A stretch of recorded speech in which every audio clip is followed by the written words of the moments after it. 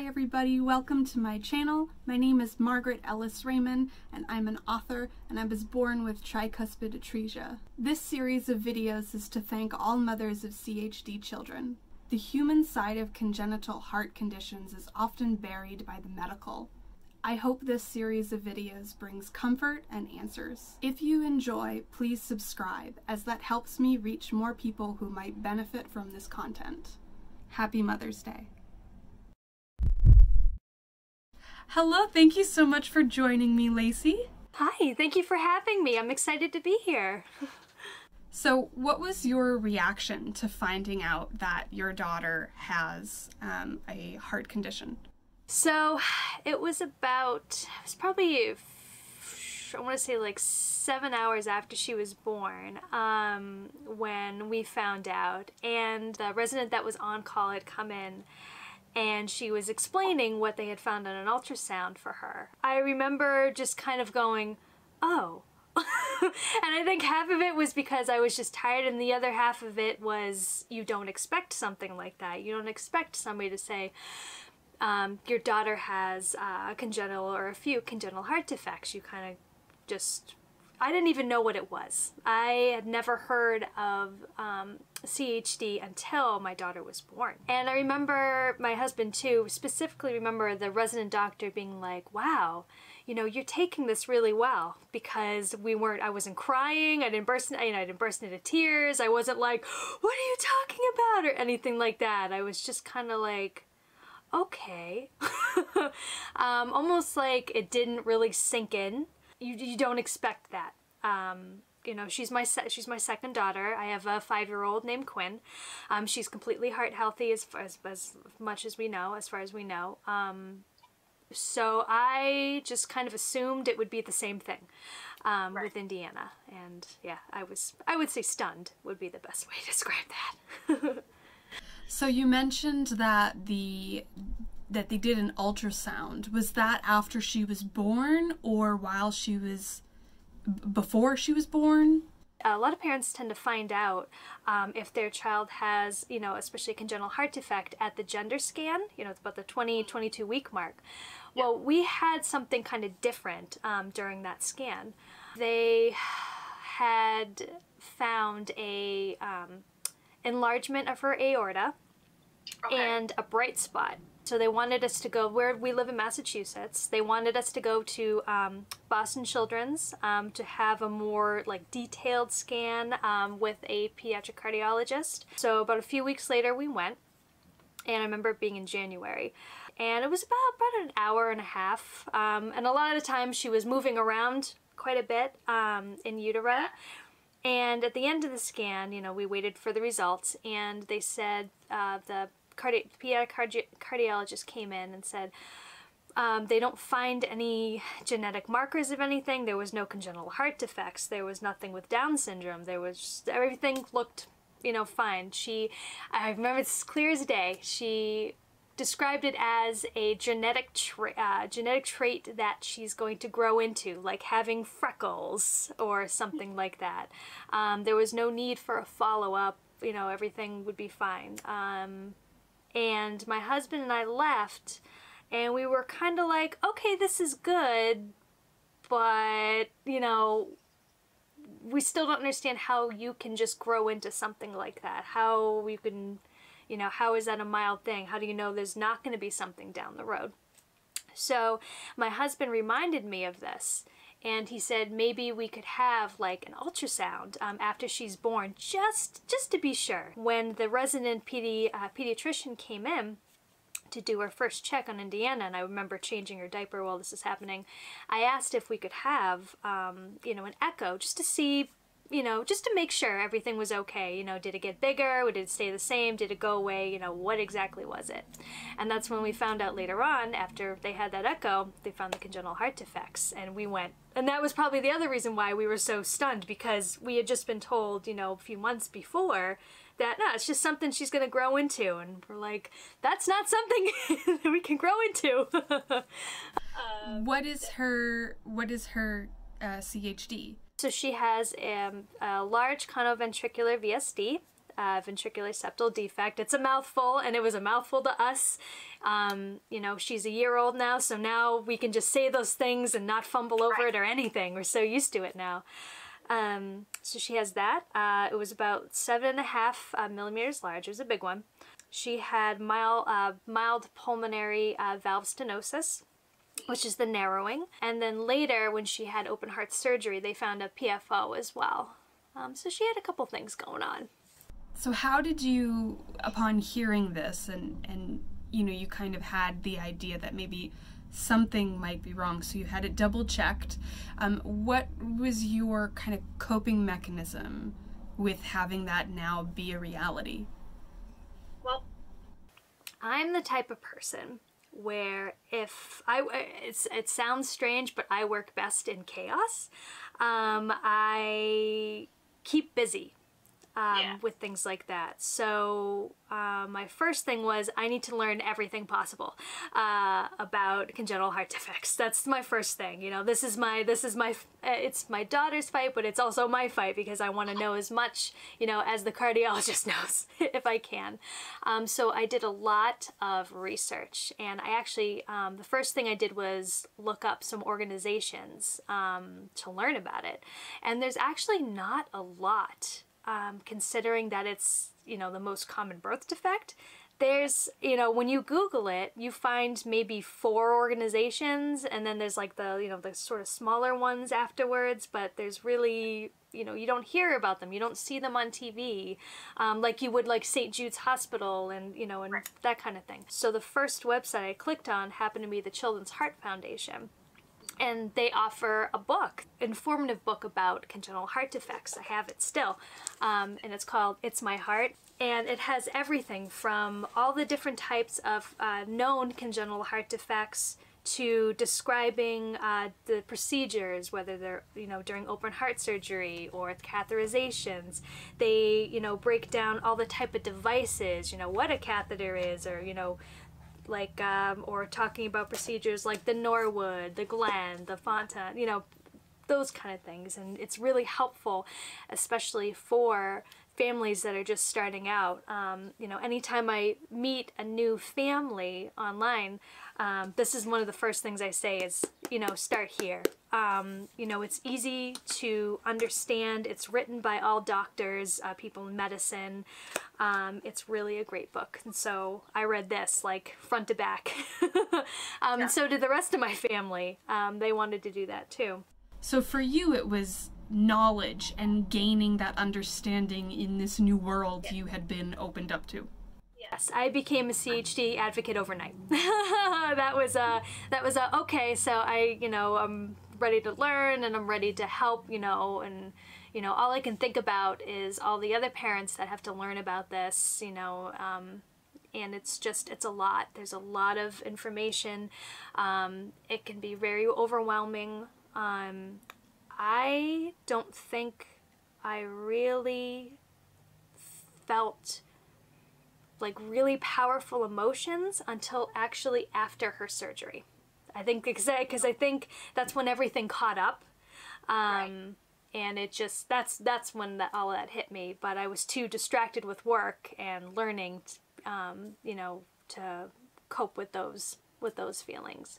So uh, once it did hit you, so you said it hit you after she had finished surgery, or after they had finished surgery. Yeah. How now it's hit you. How did you cope with those emotions? What did you what were some strategies? I'm trying to remember. This was I mean, this was like a few months. So it happened a few months after her open heart surgery and we were on a trip in Maine. Um, and this was after, you know, she could actually sit in a car seat and everything. This was, you know, you have to wait a little while after. She, we were sitting at the, at the beach, um, and she was in a little car seat, and I just started sobbing. Um, and it was just her, it was her and I, um, my husband and my daughter were somewhere else, and I just started sobbing because, you know, I realized just how lucky we were to have her with us. Um, you know the surgery gave you know gave her back to us so to speak or you know or she was up in the air for so long um, and you know the surgeries you know gave her us you know a chance to have her and you know grow up with her sister. So to cope with that i just kept working. I did um, i got involved um, with some organizations. Um, i made up my own not i don't really call it an organization. I call it like a like a resource website. Um, I'm not particularly sure what else I'm going to be doing with it. You know, I kind of do a little bit of everything. Um, that's called um, CHD and Me, um, which is not just CHD and Me. That's actually one of the other ways I coped was it was originally CHD and Me was like it was CHD and me. Like, what do I do with it? You know, what do I? And then after a while, you know, and getting to know people in the community and being taken in with all these families, these seasoned um, heart families for so long, you know, it kind of became like CHD and just all of us. Um, and so to cope, I would find resources that I thought would help, you know, new parents, especially help support the families, um, you know, and sharing um, um, stories um, that families have written about their children or that adult warriors have written about themselves um, to try and show like you know that we're not by ourselves. It's a very lonely feeling as a heart parent. It's okay to feel that way. It's okay to cry. It's okay to be frustrated angry upset all those things. I'm just a very stubborn person. And i tend to take those emotions and put it into something else helping other people. Like you know what? I'm not gonna i'm gonna help other people. I'll get to me later um, so that was that's basically I just kept working, kept worked harder, if anything. what what was delivery like? So it was actually totally different uh, from my first. My firstborn, the two labors and deliveries um, were totally different. My firstborn um, was an emergency uh, cesarean. It was focused on this next one, Indiana's being a VBAC, a vaginal birth after cesarean. I had a midwife, they, they gave me the go that we could go for it. So I got to experience all the things that I didn't experience with my firstborn. Um, you know, my water breaking, um, laboring in tubs, just going through the motions of what, you know, natural labor would look like. Um, eventually I did have to some medicine in me to kind of temp uh, temper the pain a little bit because I had very um, tough um, contractions and I had back labor. And I remember saying to my husband, I was probably about more than halfway. And I remember saying to my husband, like, I'm gonna black out. I'm in, I was in that much pain, I'm gonna black out. Um, so they gave me the medicine, and then um, I, she was a success, successful VBAC. She looked great. Uh, she wasn't uh, blue. Um, she had an APGAR score of 9. I mean, and she, they said everything looked great. Um, there was no evidence of like a heart murmur or anything. Uh, yeah, it just kind of, you know, it. So, were you at home? Was this a home birth? No, this was in the hospital. This was a different hospital too. Um, okay. Um, yes. Um, so then in the hospital you said, "Hey, I want you to take a look at yes. her heart," and so yes. they were able to do that. Okay. Yes. Okay, gotcha. Okay, gotcha. Because um, it's on the same floor um, as we, as we were on, so that was um, really helpful. We we actually sat there and watched it. Um, happen. There's like this big window and you can sit out and she was so good. She just laid there and stared up at the screen. She didn't squawk or move once. It was amazing.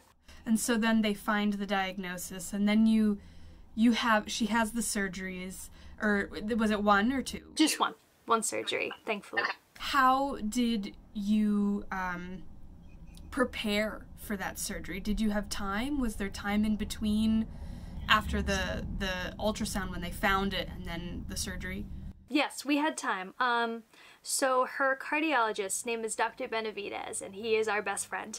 Um, absolutely amazing. Um, he said that he wanted her surgery. She he said it. That was one of the first things that he told us was she's going to have to have open heart surgery.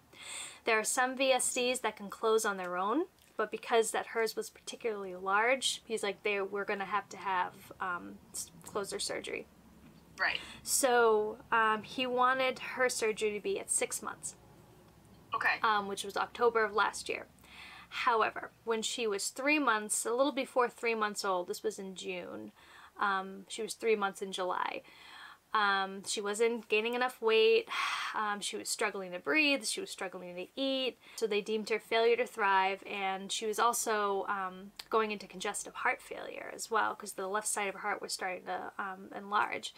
So they decided that she needed to have the surgery uh, much earlier. And so it was about a few weeks later in July. So she was born in April and she had her open heart surgery in July, uh, July 22nd yeah, she wasn't supposed to have it till at least six months, but we had to bump it up to three because she just wasn't doing well. As far as we know, first and only surgery. Um, the last echo she had, and she's going to be going in the summer um, because you have to keep checking, you know, for basically the rest of her life. Um, right. They said that the um, VSD looks good. They said that her aorta was mildly uh, borderline dilated, her aorta. So they're going to look into that, um, which the only time I ever heard her aorta enlarged was when, you know, she was in utero. So now hearing it again is kind of like, oh gosh, you know, you, you think that you're out of the, you know, you're out of the woods, uh, but then there's always, it's, and that's what happens. There's, there may end up be something, um, you know down the road. They're just going to keep an eye on it, and we're going to check it out in the summer. But we heard we heard that, and we went, oh. yeah. Yeah, it's a lifelong um, just checkups. Yeah. Yep. Yep. Yeah. Yep. Doctor's appointments, diagnostic testing. Um, you know, there's the possibility of hospitalization. She actually was hospitalized in December for something totally different. Um, yeah. But it doesn't help when you have congenital heart defects. You're more um, you're more able to get what would be a common cold. What um, what she had was RSV and bronchiolitis. Um, she had a really bad version of it, and so what could be like the common cold, you know, to a heart healthy kid can send a baby, you know, into the which is what happened Indiana. Especially if you have two different flu-like things happening yeah. at the same time, it's not a good. Mm-hmm yeah. yeah. Our oldest had it for a day. And I mean, we know that's where she got it from. She went to school and brought it back. And um, But then Indiana had it and she ended up uh, in the PICU for 10 days. So. What was that like? That must have been kind of a similar shock to the surgery, right? I I actually had a harder time with that than I did the open heart surgery because I was I prepared myself for her open heart surgery. I mean, I, you know, I talked to other parents, you know, what do I bring? What do I do? I knew, I knew everything about this. Now there's this new thing I'd never even heard of. She was on a ventilator um, for uh, nine, eight or eight, eight out of 10 of those days, uh, which is tough. You know, with her open heart surgery, she got off the ventilator that night. She had it in the um, an open heart surgery. She um, their surgery started at seven, and she was off the ventilator that night. So we only saw it for a, you know one day. Where this one she was on it for eight days. The outcome is almost unknown. Whereas with the surgery, you're like, okay, this is to help yeah. her. Whereas yes. this was, uh, it's completely out of our hands. yeah. So it's harder. Yeah, you have to. I mean, you're constantly, with both things, you're constantly watching her vitals. They have the vitals up on the screen, um, you know, and they would be changing the settings all the time in the ventilator. Sometimes she'd need more oxygen, and then during the day she'd have less oxygen, and then when night would come, she'd need it again. Um, she had a few cases of apnea, which for some people, if they don't know, that's when you stop breathing in your sleep. They said that's common uh, with RSV, um, and it's very scary when your eight month old is doing that. You know, she, we were actually had changed hospitals. We were originally at a Newton Wellesley hospital, and we were there for one night, and she was in a, she was in respiratory distress. Uh, her coloring um, around her mouth was dusty. Um, she just looked sick. She lost all the color in her face. I mean, it was it was scary. People were, you know, in and out of the room. You know, they said we're gonna have to put her on a ventilator. You know, through here versus here. Um, and we elected to go to Mass General because we know the hospital. That's where she had open heart surgery, and we know the PICU. We know the nurses there, the doctors there, and I just felt more comfortable. I felt like they were more um, equipped. Not, not to say that Newton Wellesley not, but they have more. They don't have a PICU at Newton Wellesley Okay. like they do at Mass General. Okay. Um, so, and they were seeing cases and cases of it. So that was pretty tough, you know, not knowing, you know, when she was going to get off the ventilator. And how is she now? She's doing really well. Um, she's taking a nap now, um, but she's really thriving. Um, it's so different um, because before surgery, um, you could tell she. You can't. All right, so you can't.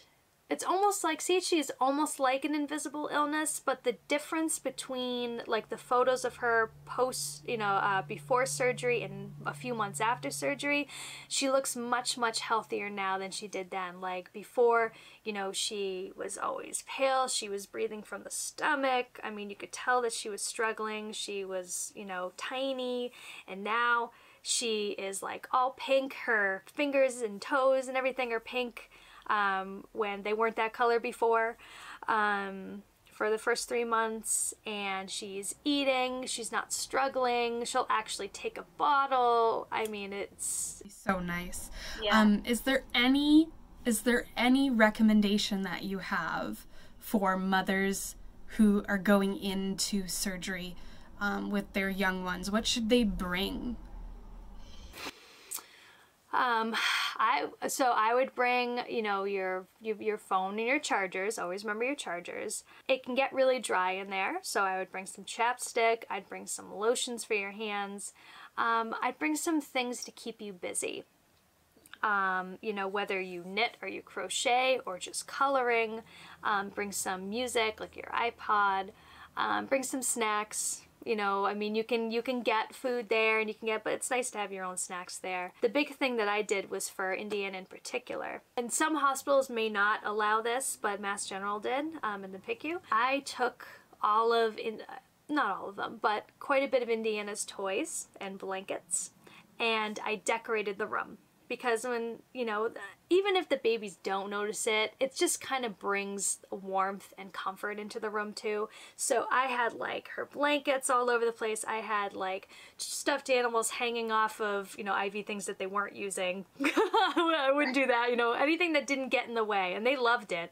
They were like Yeah. this is great. Um you know Yeah. bring some color into the room. I think it really does make a difference For the mother and the family and the child, yeah. because you're bringing you know home with you. You know you're gonna be there for at least a week. Um, we were there for five days. And it's just nice having something familiar um, because the inside of a hospital room it's just white you know barren. There's nothing really there. It's cold. It's not very homey. Um, so that would be a big thing. Um, definitely bring some stuff that makes it more like home um, for you your family and your child especially Do you have any advice for mothers who are just finding out that they're going to have an infant uh, with a congenital heart defect, or mothers who find out after they give birth? What is like one big piece of advice that you would want to share with them? speak up. I you are the voice of your child. And if you have this this gut feeling like we did, we're a perfect example. We were given the green light when they we had a minor scare um, you know during pregnancy and we we still had that feeling that there was something wrong. Speak up. You you you are the voice you have to advocate for your child. You know your child best. Yeah. so don't be afraid um, because more than likely that gut feeling is right And then, uh, is there any organizations that you would recommend uh, or that would help mothers uh, to, to research? So definitely the Children's Heart Foundation. That's the first organization that I got into, and that's also again where the book was. um, so that's and that says "It's My Heart." You'll find that in the. You can even you can find it on Amazon. Um, and that's a really helpful book. Uh, like I said, there's there's not many CHD books out there, um, but that is definitely one to have um, in your repertoire. And another one is called Conquering CHD it was originally the Pediatric Congenital Heart Association, um, but because they cover the entire lifespan from, because CHD is forever, um, it doesn't stop, you know, with any types of medical intervention. It's, it's forever. It doesn't, you know. Um, they cover the entire lifespan from, you know, baby to um, adult.